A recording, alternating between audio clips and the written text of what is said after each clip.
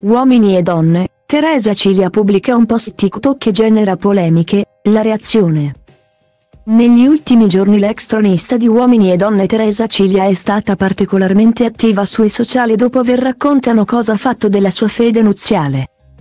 Su TikTok ha fatto una descrizione di ciò che per lei è l'amore. E poi ricordate di una cosa, quando una donna è troppo possessiva e vi sta appiccicata come una cozza è perché ci tiene a te. Quando una donna fa come una pazza è perché ha creduto in te e tu l'hai delusa.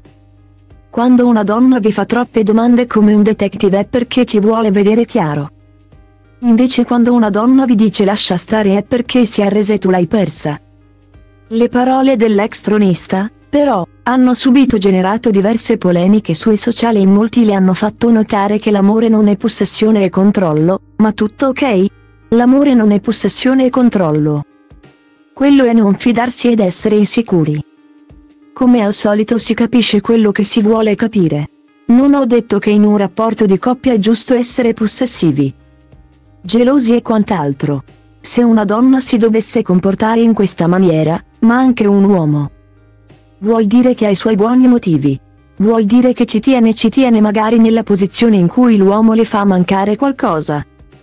Questo ho detto, non ho detto però che in un rapporto di coppia ci deve essere questa possessività esagerata.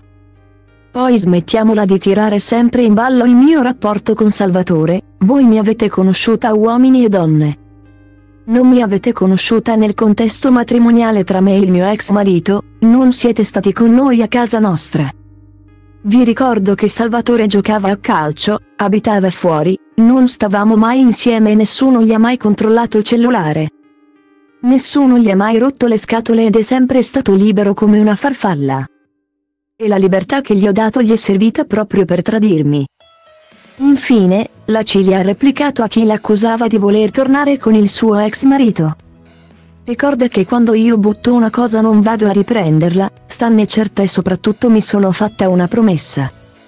Di non voltarmi più per chi non vuole avermi. Io perdono, ma non dimentico, questo è poco, ma sicuro. Un bacio.